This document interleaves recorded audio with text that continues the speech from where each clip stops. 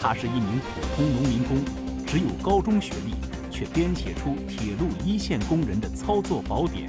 不是说你传统的让你这么干你就这么干，你还要想法，要发挥你的智慧才能。他靠的是琢磨和钻研，即使下岗在家，也没有放弃梦想。你写了有啥用啊？单位都不让你上班了，给谁用啊？从农民工到高级技师，三十年艰辛，他历经行业变革，依然饱含深情。财经人物周刊本周邀您关注知识型新型工人、农民工楷模聚小林。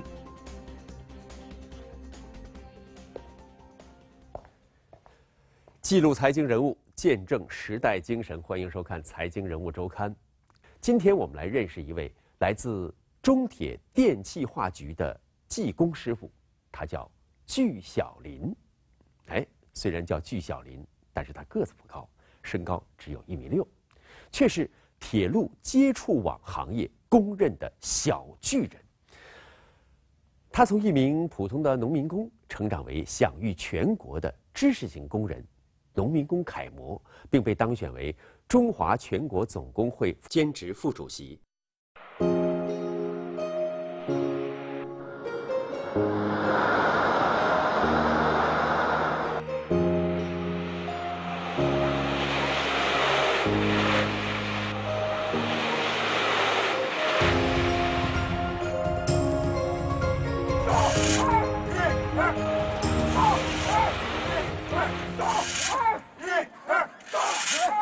推不推不到那个槽里面去？太高怎么能不好弄啊？推不过去是吧？只想把安全带打上，小伙子。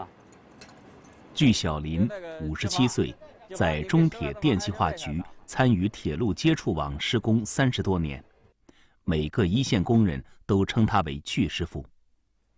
五十七岁，在铁路建设一线，代表着经验丰富、资历深厚，同时代表不适合参与高空作业。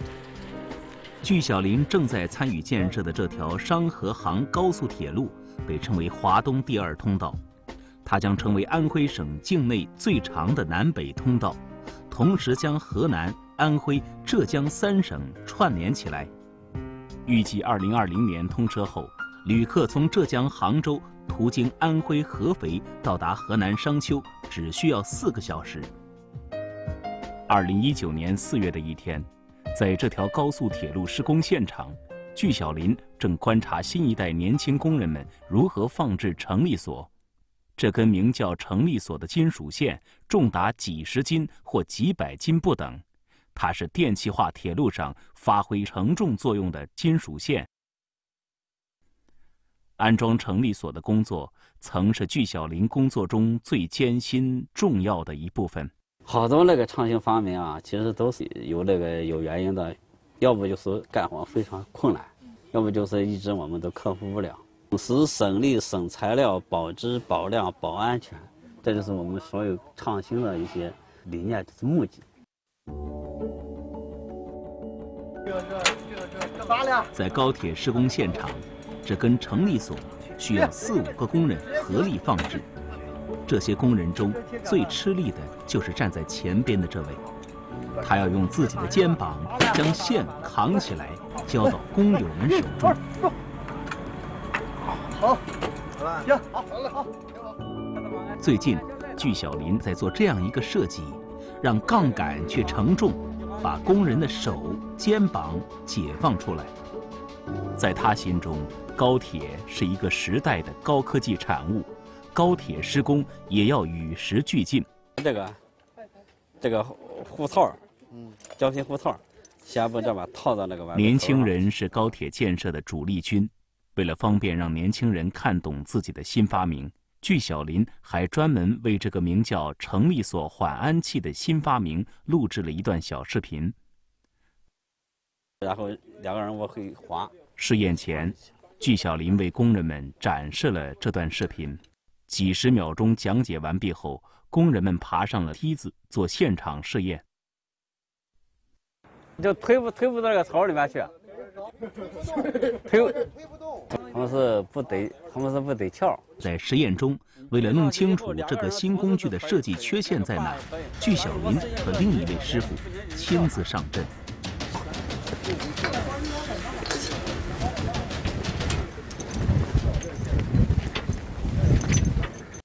他在那放着去。哎，你来，我上来。你给我啊。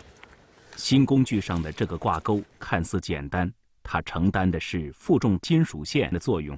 如果没有它，此刻要承受这根金属线的是工人们的血肉之躯。现在，锯师傅们正在抬起的这根支架，它承担的是滑动金属线、传送金属线到固定点的作用。如果没有它，此刻直接与线路摩擦的仍然是工人们的身体。五十七岁、血压偏高的巨小林抓紧时间在高空操作了五分钟后，终于弄清楚自己这个新工具的设计缺陷在哪儿。他匆匆回到地面。俺今天实验的这个问题就是，一个是这个钩，这个钩有点太靠下，对吧？这个这个钩有点太靠下，因为我这边落的，这个杆也也有点长，你每回要还要卸点杆，卸点杆卸了以后，卸了以后还这个还过不去了。对对对。啊，军人的那个呃这个岗位工作，最基本的，干工作不是说那个，呃，你要用要用的，不但要用新技术，不是说你传统的让你这么干你就这么干，啊，你还要想法，要发挥你的智智慧才能。发挥智慧才能，设计出更省劲、安全的施工办法，这是具小林在接触网施工中的工作习惯。作为一名知识型工人，具小林从业三十多年，累计创新施工方法一百一十四项，但他仍在摸索。试验结束后，具小林开始重新绘制这个新发明的设计图。不是原来我们都是人这换。非常费劲，呃，所以说这个同这个这个非常也省力，但是就是这个有还有这相当的问题，我们还得再再改进，更加这个完善。五十七岁，多数铁路工人在这个年龄已经退休，但巨小林依然继续奋战在第一线。高铁是巨小林近些年才接触的，高铁的接触网施工需要的是更精准、更标准。更专业的施工办法，这对他是一个新的领域，而他所具备的一线经验和钻研技能，正是当下铁路建设队伍所需要的。五二年七月和一九五四年一月，在宝鸡和成都分别动土修建宝成铁路。上世纪五十年代，中国的第一条电气化铁路宝成线。正是从具小林的家门前修过。我姐夫经常回来就说电气化铁路是怎么怎么做？呃，他讲过了以后，我还到咱们还小时候四五年级的时候，还到他们到那个我们那个蔡家铺还看过火车。呃，我当时看的火车挺长，火车厢挺大的，比汽车大多了。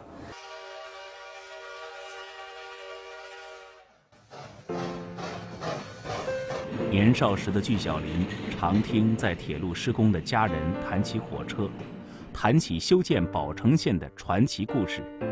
十三四岁的具小林曾独自一人跑了几十里地去看这趟火车。呼啸而过的列车打开了上世纪七十年代一个陕西男孩对外面世界的憧憬。十年后，当他第一次离开家乡参加铁路建设时，搭乘的也是这趟对他意义非凡的宝成线的列车。五八年，咱们国家的第一条电气化就是宝成线了，宝鸡到凤州这一段呢，一百多公里吧。这个任务嘛是交给电话局了，所以来讲呢，全体职工来讲呢，感到的非常高兴，觉得很光荣。一九五八年六月十五日。宝成铁路宝鸡到凤州段电气化开工。同年九月，中铁电气化局集团公司的前身铁道部电气化铁道工程局在北京成立，成为我国电气化铁路建设专业设计施工单位。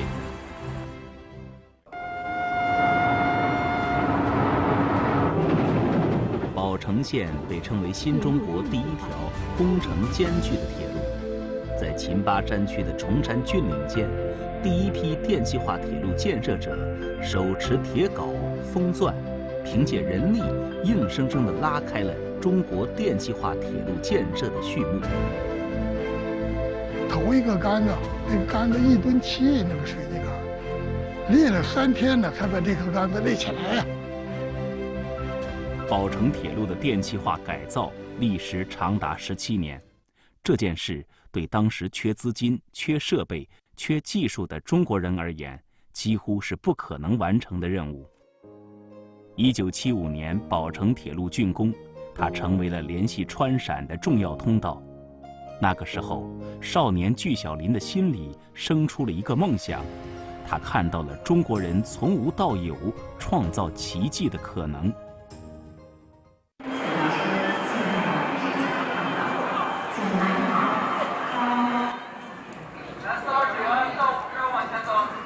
巨小林是中国第二代电气化工人，现在的他已经是中国铁路电气化行业里的能工巧匠，但他依然记得当初刚刚入行时的情景。我是八七年的三月份离开家乡，就是那时候就是为了找一份工作嘛，就是特别的，也是因为是铁路工作，我一直的那个铁路那个建设者们都心里头，他们穿的一身工作服。呃，挺漂亮的，也许，呃，那是我第一次呢，心里，呃，充满着很好的期望。上世纪八九十年代，中国经济呈现出迅猛发展的势头，各行各业都在增速发展。这个时候，所有的人流、物流全都涌向了一种主要的交通工具——火车。当这么多人流物流都要通过铁路运往四面八方的时候，人们这才发现，经济增速发展的中国就像是一个长大了的孩子，而铁路就是那件太小的衣服。旅客和货主常常一票难求，一车难求，铁路运输成了制约经济社会发展的瓶颈，情况到了不得不解决的地步。一九八七年，也正是我们国家加快电气化铁路建设一个时期。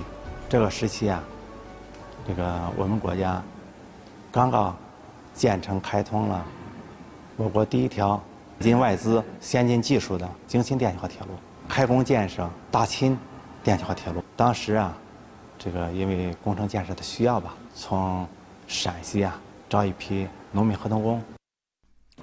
正是在这种情况下。一九八七年，二十五岁的巨小林离开家乡，成为中铁电气化局首批招收的农民工中的一员。他终于来到了年少时就憧憬的铁路系统工作，而巨小林最早参与建设的。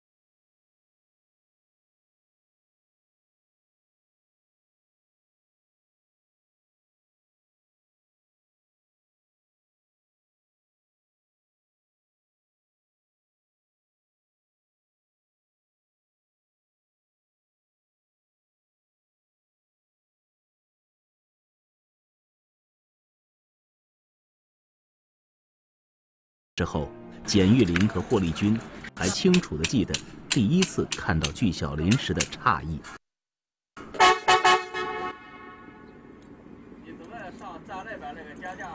份儿有点小，可能那个有的东西你拿不动，啊，就是比如说有些那个呃肩架呀，特别特别沉，都是铁家伙。那时候我心里就是犯嘀咕，这活我可能干不了。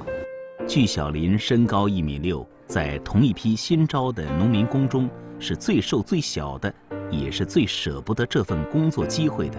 肯定想留着，回想这找这么一个工作特不容易。呃，因为我我以前你看我干过干过那个泥瓦匠，呃，干过油漆工，还干过那个监狱放映员，这都失败了。我说再找再找，这是第四个工作了。我说再不干，就是就是这个再要不干的话，找别的工作肯定还不会，还还是一样的。这我下定决心到这个这个这个岗位上要干。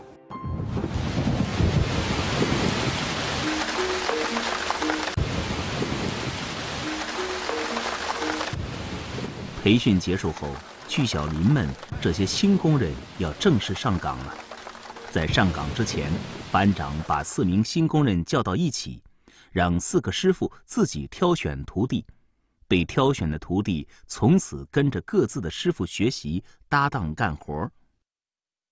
汽车上他没法作业，他够不着。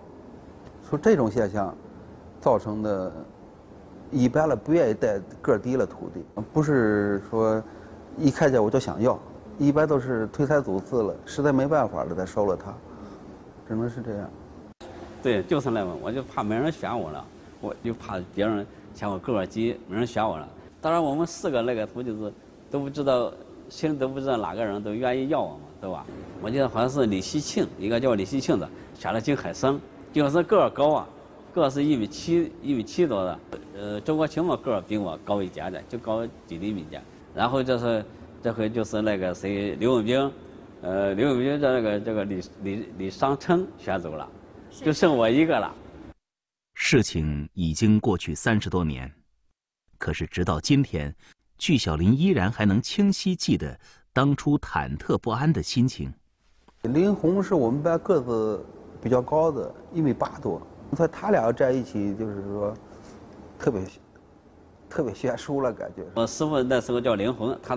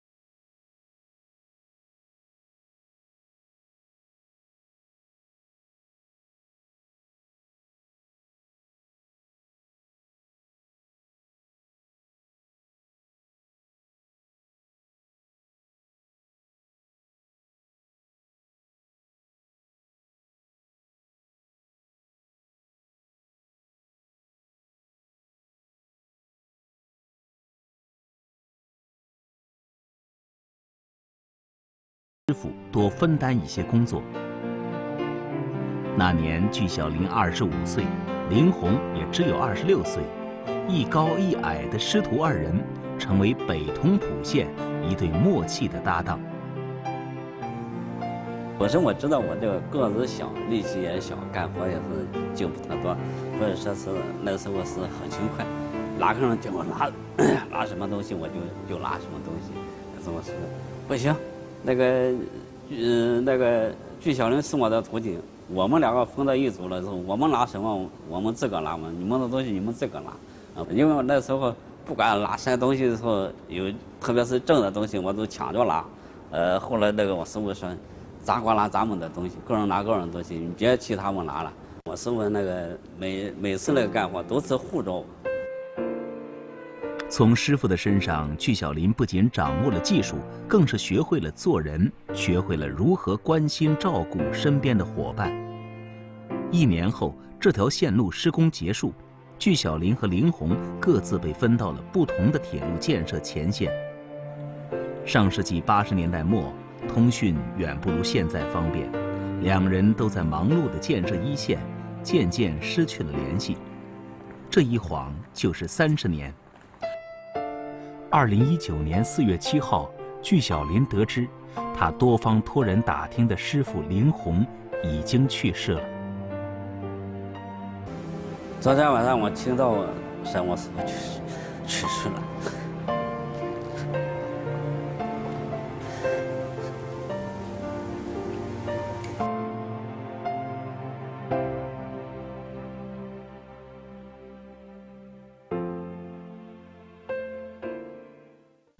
他是一名普通农民工，只有高中学历，却编写出铁路一线工人的操作宝典。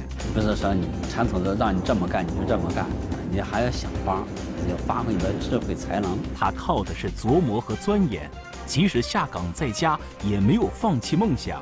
你写了有啥用啊？单位都不让你上班了，给谁用啊？从农民工到高级技师，三十年艰辛，历经行业变革，依然饱含深情。财经人物周刊本周邀您关注知识型新型工人、农民工楷模聚小林。林红是聚小林的工作伙伴，也是那个时候教导聚小林现场施工的活的教科书。从1958年到2018年，这六十年当中，中国铁路电气化的技术在不断的更新，而早期的一代代接触网工只能够是通过师傅们口口相传的办法来传承技艺，工人们流传下来的经验办法很少有人去总结。在跟林红学习的日子里面，聚小林既为自己感到幸运，而他又在想，如果能够有书籍帮助新工人该多好。工友们对聚小林的不离不弃，让他爱上了这个集体，这种情感产生了巨大的动力，他又有了一个梦想，为铁路基层接触网工编写一本工具书。一九九八年，哈大线正式开工。这是中铁电气化局承建的中国第一条引进德国技术和设备的电气化铁路。它北起哈尔滨，南至大连，正线全长七百八十七公里。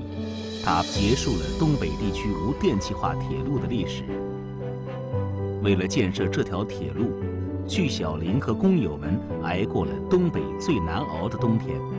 我们上杆子的时候，还得穿着大衣上去。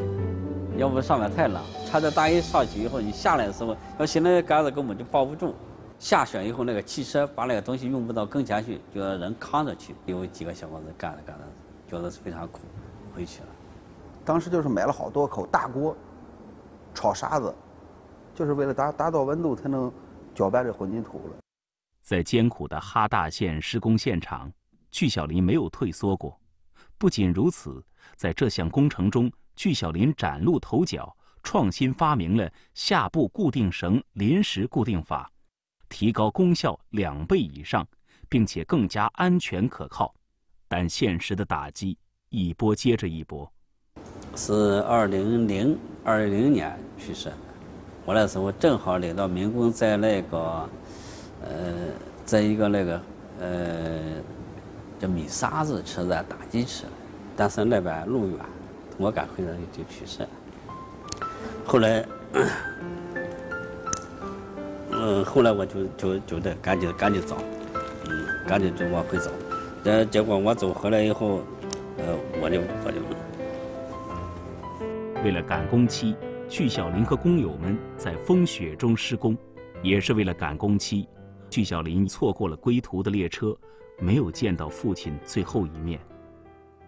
在悲痛的同时，让他更难以接受的是，二零零二年的冬天，就在这项工程结束后不久，他被通知，他下岗了。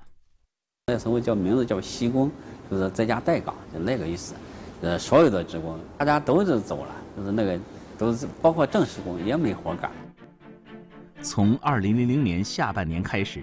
中国铁路工程总公司、中国铁道建筑总公司与铁道部脱钩，实行自主经营。据小林所属的原铁道部电气化工程局脱离铁道部，更名为中铁电气化局集团有限公司。走向市场后，行业竞争开始变得残酷和激烈。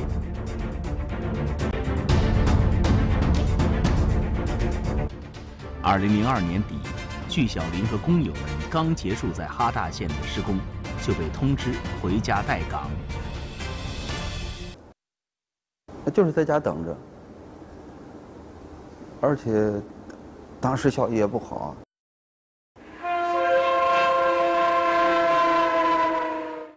这一年，聚小林四十岁，不惑之年，他开始迷惑：靠什么维持家庭生计？自己的前途又在哪里？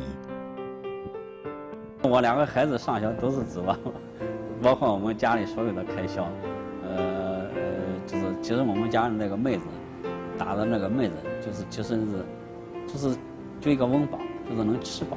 你说穿衣裳呀，穿更好的衣裳呀，或者是你说买个电视机呀、缝纫机呀，这个这个是叫农业这个粮食卖了再买这个是不可能。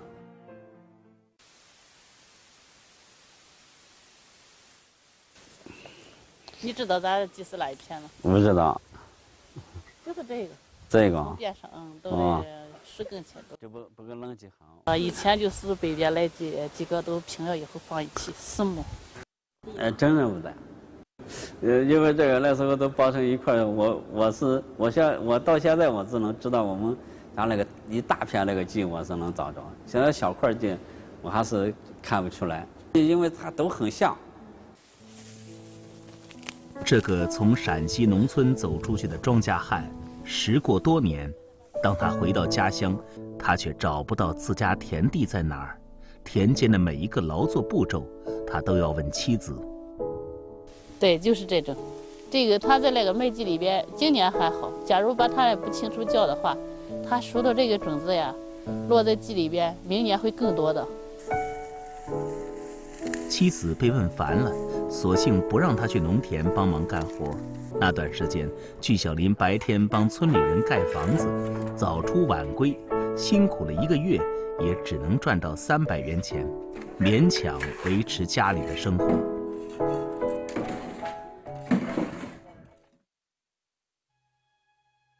作为家里的顶梁柱，聚小林不甘心，他不甘心一辈子以打短工为生，也不甘心自己苦心记录了十多年的笔记就此作废。我就想把我这个日记本上这个所有的那个技术创新啊，是写写出来，这规整一下。据小林在铁路一线施工十五年，笔记记了十五年，字数达几十万字。其中有不少提高工作效率、保障施工安全的方法，还有不少他的小发明创造。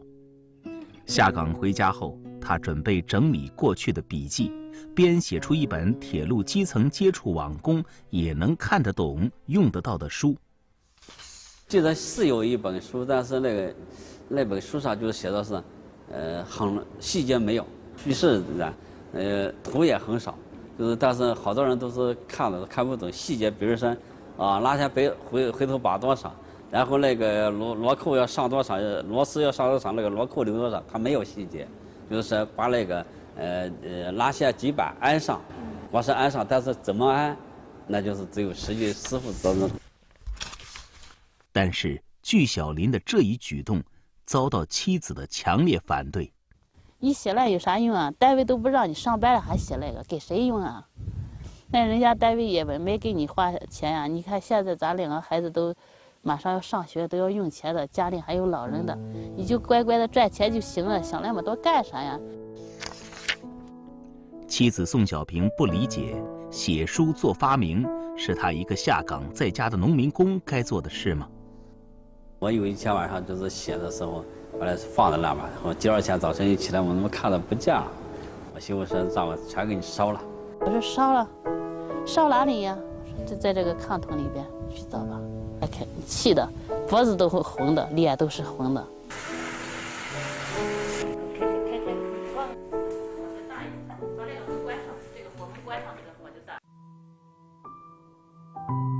当天晚上，不善言谈的聚小林为妻子写下了一段小诗。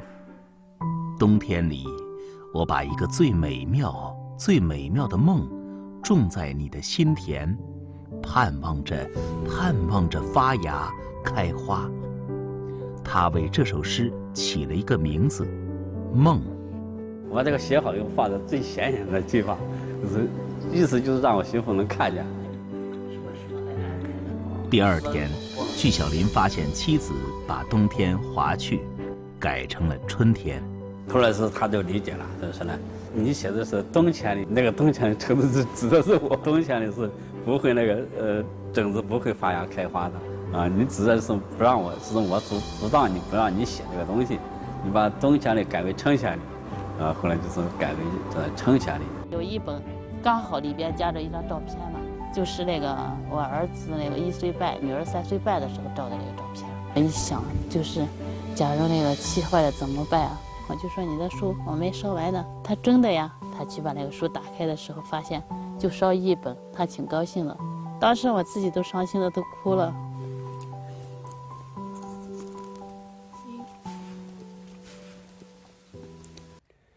在下岗近半年之后，也就是二零零三年的四月份，具小林终于等来了好消息，单位通知他有新项目开工，要他回去上班。回归岗位的具小林，像从前一样马不停蹄地转战南北。在这个过程当中，他一直有一个目标，那就是把自己从业十多年记录的几十万字的笔记整理成册。真是有心人天不负啊！在二零零九年的时候，这位从陕西走出来的农民工，真的就编写出了一本书。跟其他关于高铁的重大科研发明不同的是，它是为了适应新的技术创新出来的一种省时省力、省材料、保质保量、保安全的接触网安装方法。这第一本书只有六十二页，但是有人呢计算过一笔账。说这个书里面提出的技术革新和发明，创造了超过六百万的经济效益。从前呢，技工师傅称具小林为小具，发明创新多了，大家都改称为他巨师傅。从小巨到巨师傅，这中间又经历了怎样的一个过程呢？时代需要伟大的工匠。当今的中国铁路建设队伍中，需要大批像巨小林这样的，既具备一线经验，又具备钻研素养的高技能人才。在默默沉寂二十多年以后，随着具小林手稿的被发现和一本书的问世，具小林像被人们突然发现的一块瑰宝一样。在他参加工作的这些年里，中国电气化铁路实现了从朴素到高速。从国内走向世界的技术跨越。截至二零一七年底，中国电气化铁路总里程八点七万公里，电气化率达百分之六十八点二。如今，旅客乘坐高铁出行的交通方式被比喻为陆地飞行，火车跑得越来越快，反映到具小林和团队工作中，则是需要他们越来越精细的施工工艺。在高速铁路上，它有一个防撞墙，防撞墙的高度呢高于轨面，所以说钢圈尺并不能在一条水平线上进行测量。尺子是两头不水平，不水平以后一头高一头低，测出来误差比较大一点。高铁都是比较精密，所以说咱们在高铁上那是已经不采取这个方法了。二零零八年四月十八日，被誉为世界上建设里程最长、具有世界先进水平，同时也是中国第一条具有自主知识产权的高速铁路——京沪高铁开工建设。按照设计，它的最高速度三百八十公里每小时，运营速度三百五十公里每小时。在这样的高速下，任何一丝失误，后果不堪设想。我们接触网保证了我们的京沪高速能够最高运行速度达到四百公里的需要，这也是世界首创。新的设备、新的技术，这对接触网的安装施工人员有了更高的要求。在施工现场，具小林提出，要像做瑞士手表一样精细的去建设京沪高铁。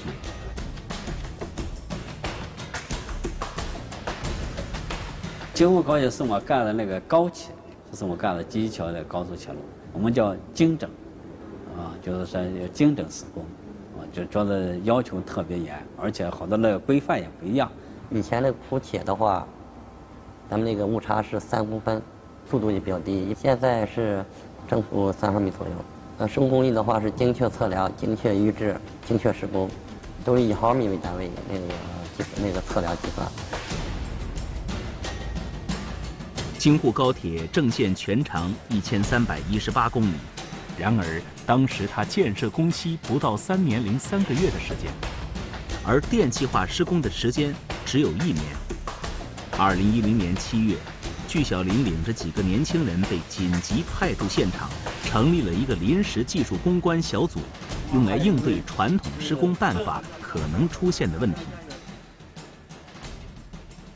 首先是遇到的是测量的问题，在高铁上有防撞墙，这个防撞墙呢，就是成了你拉钢卷尺的一个障碍，它把这个你钢卷尺的这个通道给堵住了，测量不出这个准确的这个这个距离。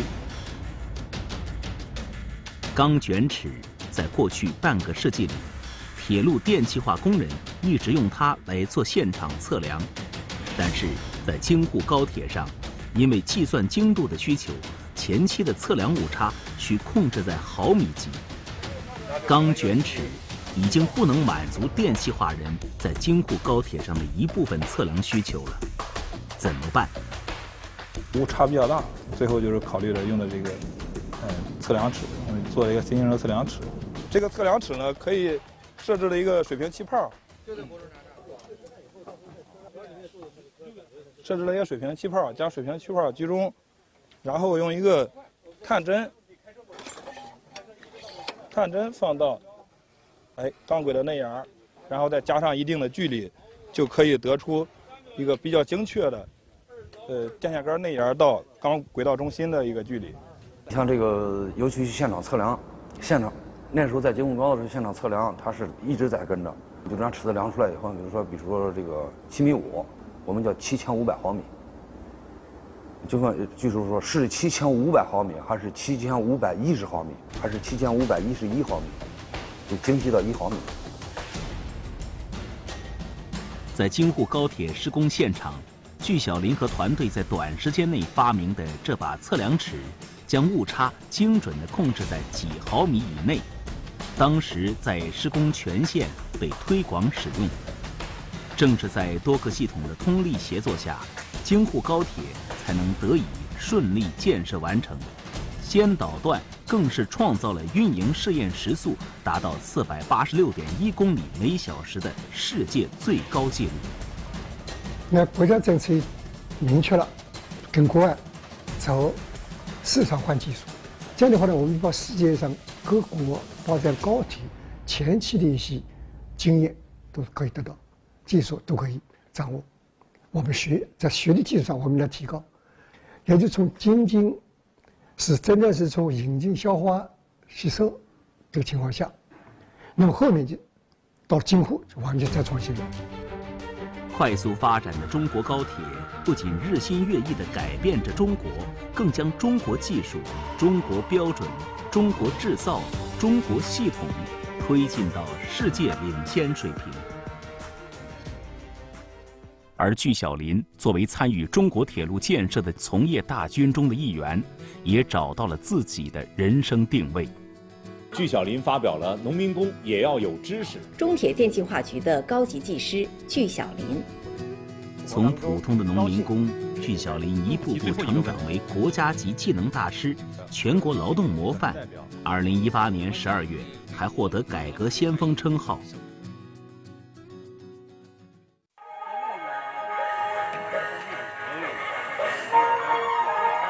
今天家乡举办每年一次的庙会，具小林的母亲已经八十多岁，老人家想让儿子陪他去看看。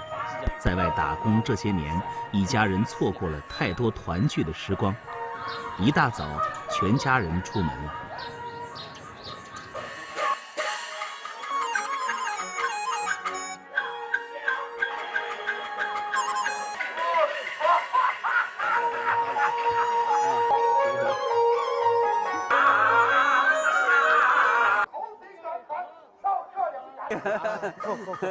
啥回来？我是一万了，一万。我不，这这捡你一个就是不容易。哎，是的，有不容易。哎呀，我还没看上你啊！嗯，这我还是第一次赶我们这个庙会。呃呃，很很高兴。你看这好好几十年都没见过。在当地，聚小林是个名人。买菜的时候，不时有同乡给他拍照。是那个名人，是我们本地的名人。我们那边几个人认识了，几个人都知道，所以呢，我过来就专门拍他来了。曾经的农民工成了名人，这些在同乡眼里是了不得的成就。但聚小林回乡，衣着朴素，乡音未改，和村民们毫无两样。我觉得和普通人一样，因为那个，主要是普通人还会自然点，好干的干事也好，做啥还能踏实点。普通人当时是这样。中午想吃点什么？吃臊子面。臊子面。啊。我们家里现在也有臊子。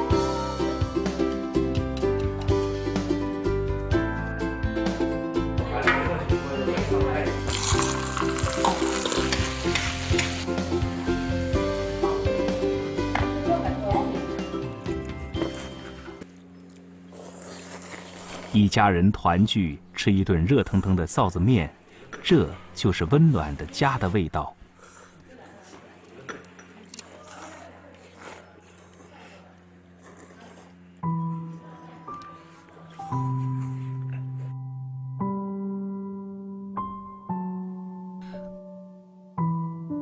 生活不能等待别人来安排，要自己去争取和奋斗。生生活不是生，发音有点正的，算了算了。二十五岁，聚小林第一次走出家门参加铁路建设时，怀里揣着一本书，路遥的《平凡的世界》。五十七岁，他再次读起这本书里的一个片段，他说：“这，就是他对生活的感悟。无论受怎样的挫折和打击，都要咬着牙关挺住，因为你们完全有机会重建生活。”